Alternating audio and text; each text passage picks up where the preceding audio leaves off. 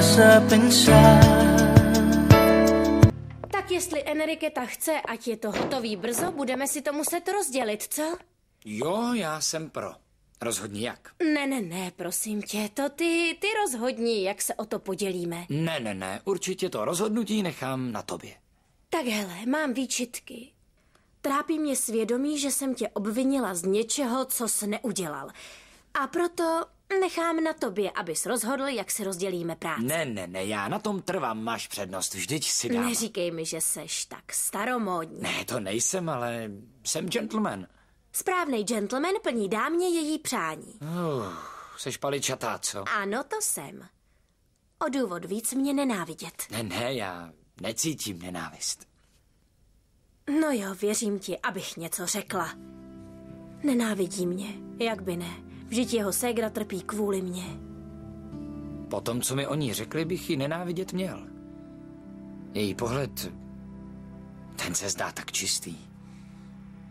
Ta určitě nebude zlá. Co se děje? A to nic, to nic, to nic.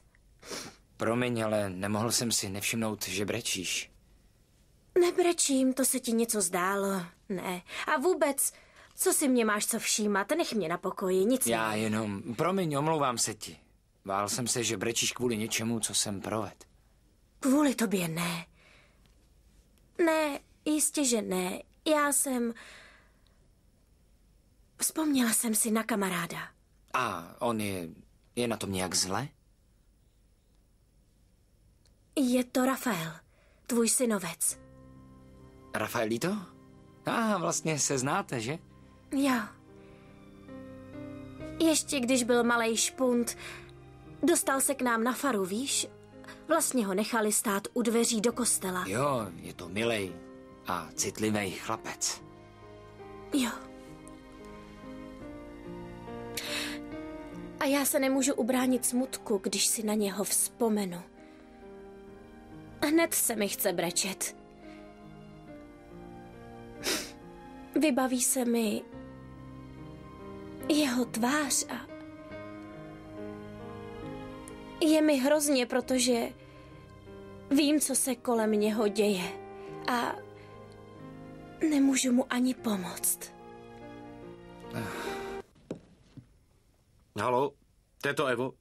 Hm, rád tě slyším, jak se máš. S takovým společníkem jsem se ještě nikdy tak dobře neměla. Aha, a kdo je ten šťastlivec? Můj synovec Rafael, tvůj syn. Rafael? Ale jak to? Neměl být ve škole? Ne, to jsem zavinila já. Unesla jsem ho a on nemohl nic dělat. Tak ne, abys mu potom za to huboval. Ne, ne, teto, tak to nikdy. Ale víš co? Jsem rád, že je s tebou, víš? Právě jsem na něho zase myslel. Co asi dělá? Teď můžeš pustit starosti z hlavy, protože v lepších rukou nemůže být. Mhm.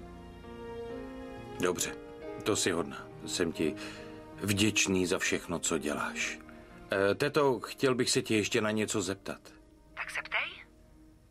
E, nevíš náhodou o Karlotě? Ani v nejmenším miláčku. E, takže vědět už jsem ti dala. Líbám tě, papá. Musím pro ní něco vymyslet. Musí mě napadnout něco, co jí udělá radost. Sám sobě jsem slíbil, že jí řeknu pravdu. Bude na to zítřek nejlepší?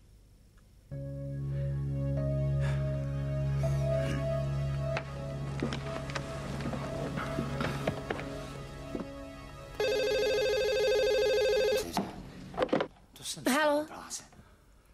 Juano, eh, miláčku, musím tě vidět. S dovolením. Um, můžu? Jistě, Juano, pojď dál, prosím. Mm, Pane Mauricio, byla bych ráda, kdybyste byl stručný, protože mám spoustu práce. Co se děje? Na co taková obřadnost? Ne, jedná se o to, že... Odpuste mi, pane Mauricio, jedná se o to, že pokud se nepletu, nacházíme se teď v redakci, čili jsme na pracovišti, kde vy jste můj šéf a já vaše podřízená. Juano, prosím tě, musíš mě Ne, ne, vyslechnout. ne, ne, ne, okamžik, ani krok. Dobře? Ne, že bych vám nedůvěřovala, ale nevěřím sama sobě. Vím, co to se mnou dělá, když se přiblížíte. Tak to stačí. Ale já... Musíme si promluvit, Juano. Nestavěj mezi nás bariéru. Musíš si vyslechnout všechno, co ti chci říct. Ne, ne, ne, ale takhle je to přece jen lepší. Musíme stanovit hranice, jo? Protože jinak... Jinak co? Jinak za sebe neručím. Juano, já vím, že jsi od nás odnesla špatný zážitek. Špatný? Prosím vás, pane Mauricio, to je slabý slovo. Byl traumatizující, katastrofální, tragický. A to nejenom pro nás. Bylo to tragický pro všechny, hlavně pro Rafaela a vlastně i pro Karlotu. Je něco mnohem důležitější než toto. Něco, co nás spojí, Juano. Mauricio, když já nechci nikomu ublížit, nechci mít pocit, že se někdo trápí a je to jen kvůli mně, s tím nedokážu žít. Vždycky se bude někdo trápit. Je to tak, někdo utrpět musí, jestliže chceme být skutečně spolu. To tvrdíte vy, ne já. Jak dlouho si ještě vydržíš hrát na to, že si vykám? Dlouho a budu vám říkat vy, protože chci. A chci, abyste se vrátil domů. Jestli mě milujete, tak to udělejte kvůli mně. Musíte se vrátit do svýho domu, mezi ty svý zdi, do ty svý nádherný zahrady s tou fenkou tam. Ta, co se jmenuje Kanela. Přece mi rozumíš. Do háje už ti zase tykám, s tebou to fakt nejde, Mauricio. Juano, chápu, o co se pokoušíš. Snažíš se mě přesvědčit, abych se vrátil domů, ale já se tam vrátit nemůžu. Já s Karlotou žít nedokážu. Už to stejně nemá smysl. Už delší dobu to nemělo žádný smysl. Jak si tím můžeš být tak jistý? To nechápu. Juano, vždyť to, co se nám stalo, ani nesouvisí s tebou. Opravdu nemáš s tím nic společného. E, Karlota se mi odcizila už dávno, když nepochopila, jak důležité je pro mě mít dítě. Podle toho, co jsi mi říkal, ona ti ho dát nemohla. Asi to bude znít dost drsně to, co ti teď povím. Ale nikdy jsem u Karloty neviděl žádný smutek, že se mnou nemůže mít děti. A vem si, že když se nám povedlo to umělé oplodnění a ta dívka pak potratila, ani pak neprojevila žádnou lítost, tu touhu se mnou nikdy nezdílela, neměla zájem. Mauricio, proč mi to tak komplikuješ? Děláš mi to čím dál těžší. Připadám si tak pitomá, tak naivní, tak hloupá. Neboj se, už to skončí. Už zítra. Co zítra? Jo, máš narozeniny. A vzpomínáš si, že spolu máme dohodu? Myslela jsem, že na to už zapomněl. A proč bych zapomínal? Pamatuju si to přesně. Pojedeme tam, kde jsme se tenkrát dohodli, jo? Máme přece vzájemnou dohodu. Mauricio, když jsme se na tom domlouvali, tak to nebylo tak komplikovaný. Juano, Juano, prosím tě. Čekám už dlouho, abych ti něco řekl. Něco, co bych ti rád řekl zítra, v domku v horách, který má pro nás tak zvláštní význam.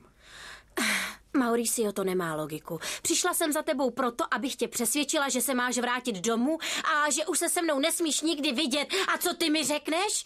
Že spolu zítra strávíme den, protože chceš. Moje slovo přece musí mít taky nějakou váhu. Já se snažím, aby to, co říkáme, mělo nějakou logiku. A ty na to kašleš. Tak mi to slib, ano. Slib mi, že zítra pojedem na tu chatu a oslavíme tam tvoje narozeniny. Juano, to je to poslední, co po tobě chci. Juano, potom, až ti zítra řeknu, co ti chci říct, tak sama rozhodneš, jestli náš vztah, jestli může mít nějakou budoucnost. Juano, musíš mi dát slovo, že se mnou zítra pojedeš do chaty v horách a že tam spolu strávíme celý den a oslavíme tvé narozeniny. Mauricio, doháje, ty to pořád nechápeš. Pořád to nechápeš, že se ze všech sil snažím, abych ti řekla, že ne, že to jednoduše nejde, že se musíš vrátit k sobě domů. Koukni, tadyhle máš zeď, zeď, která je vysoká a dává jasně najevo, že my dva spolu nemůžeme být. Vidíš, je obrovitánská. Hele, vidíš?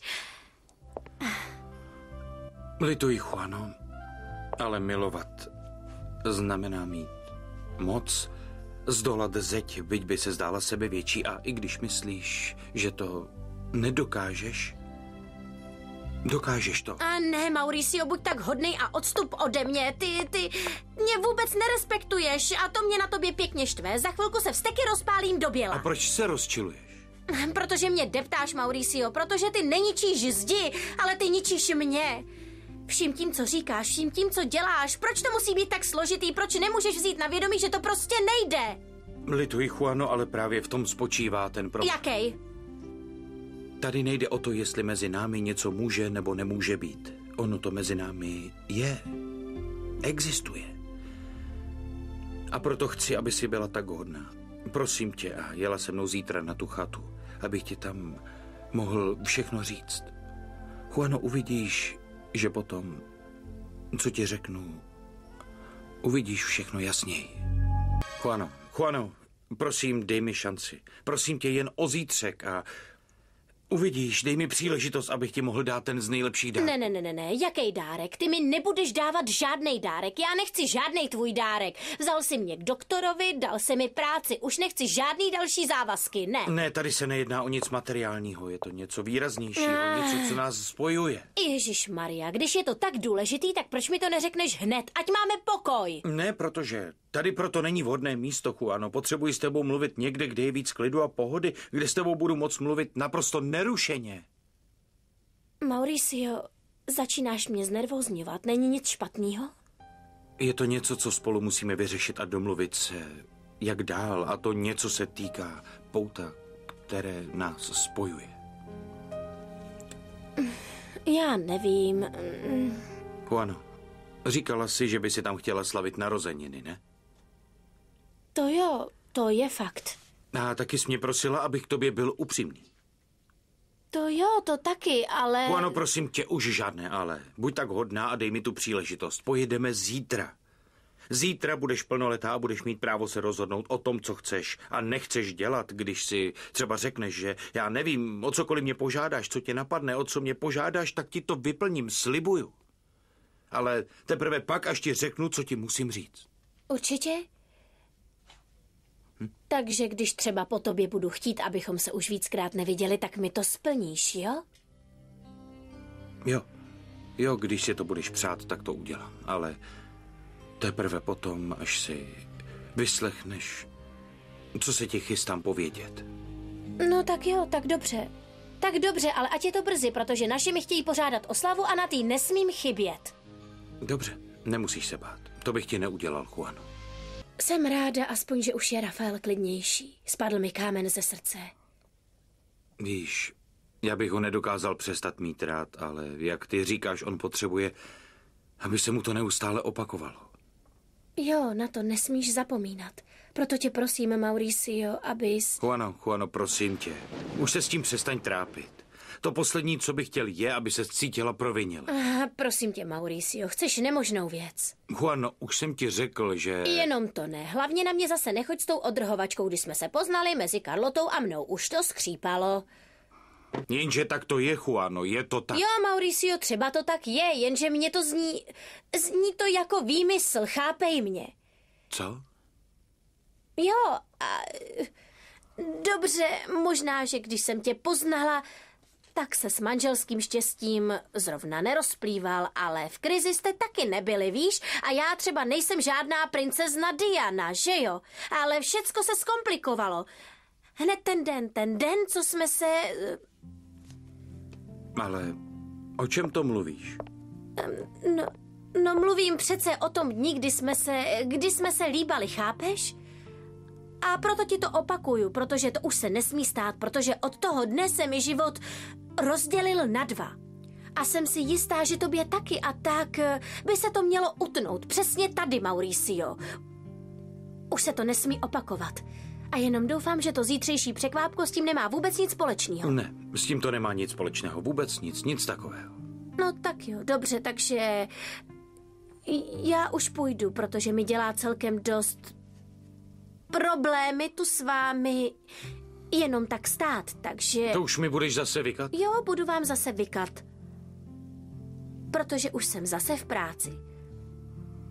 Protože vy jste zase šéf a já podřízená. Takže se uvidíme zítra.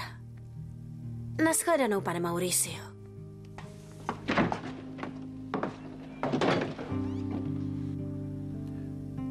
Ah, Juano.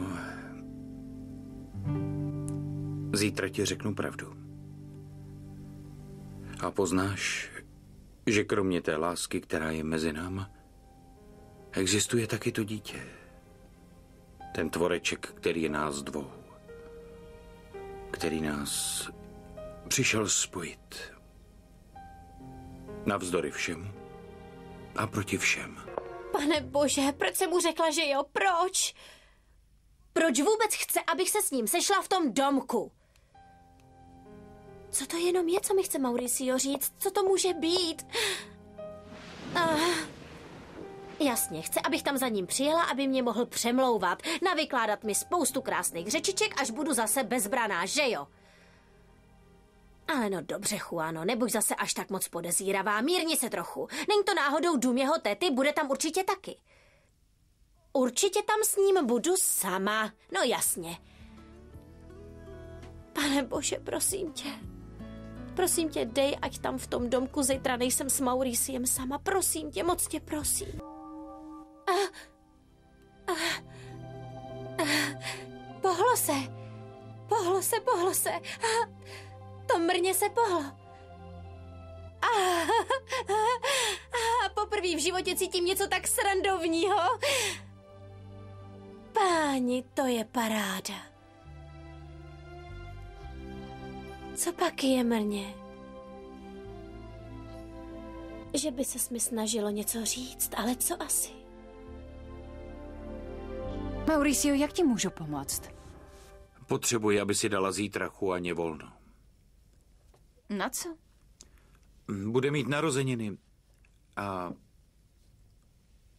chci jí konečně říct pravdu. Ah, To je dobře, že ses tak rozhodl. Podle mě je to nejlepší, když jí to řekneš ty sám a co nejdřív. Ano, ale... Ale já nevím jak. Jak to asi přijme Enrique? To myslí, že bude ráda? Jak asi zareaguje? To nevím. Ale na tom nesejde. To je riziko, které musíš podstoupit. Jo, jo, jistě.